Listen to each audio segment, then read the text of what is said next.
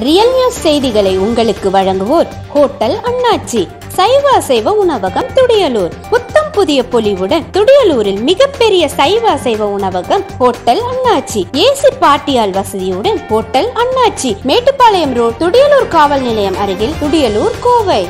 உடன் வழங்குவோர் trade universe பயமில்லா வர்த்தகம் சந்தையின் ஏற்ற இறக்கங்களை முன்கூட்டியே அறியவும் அதிநவீன மென்பொருள் மூலம் நிரந்தர லாபம் ஈட்டவும் trade universe robot trading solution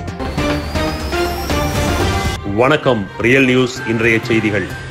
Hindu தெய்வங்களை இழிவாக சித்தரிக்கும் மூக்குத்தியம்மன் திரைப்படத்தை தடை செய்ய வேண்டும் மற்றும் விஸ்வ ஹிந்து பரிசத் அமைப்பை பற்றி தவறான செய்தி வெளியிட்ட தீக்கெதிர் பத்திரிகையை கண்டித்தும் கோவை வடக்கு மாவட்ட விஸ்வ ஹிந்து பரிஷத் சார்பாக கண்டன ஆர்ப்பாட்டம் நரசிம்மநாயக்கன் பாளையம் பகுதியில் நடைபெற்றது.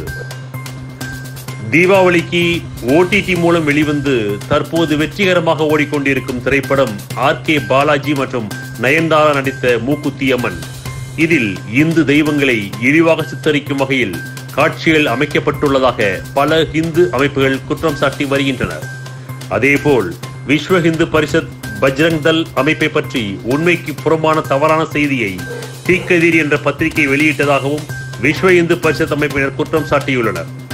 இதனை கண்டிக்கும் விதமாக கோவை நரசிம்மநாயக்கன் பாளையம் பகுதியில் கோவை வடக்கு மாவட்ட விஸ்வ இந்து பரிஷத் பஜ்ரங் தல் சார்பாக உண்மைக்கு புறம்பான செய்தியை வெளியிட்ட தீக்கதிர் பத்திரிகை கண்டித்தும் இந்து தெய்வங்களை இழிவாக சித்தரித்த மூக்குத்தியம்மன் திரைப்படத்தை தடை செய்ய வேண்டும் என கண்டன ஆர்ப்பாட்டம் நடத்தினர்.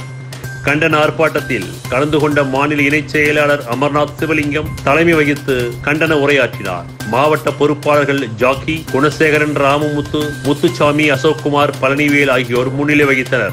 ஆர்ப்பாட்டத்தில் கலந்து கொண்ட விஸ்வ இந்து பரிஷத் அமைப்பினர் தீக்கெதிர் பத்திரிகைக்கு எதிராகவும் மூக்குத்தி அம்மன் திரைப்படத்தை தடை செய்ய கோரியும் கோஷங்களை எழுப்பினர்.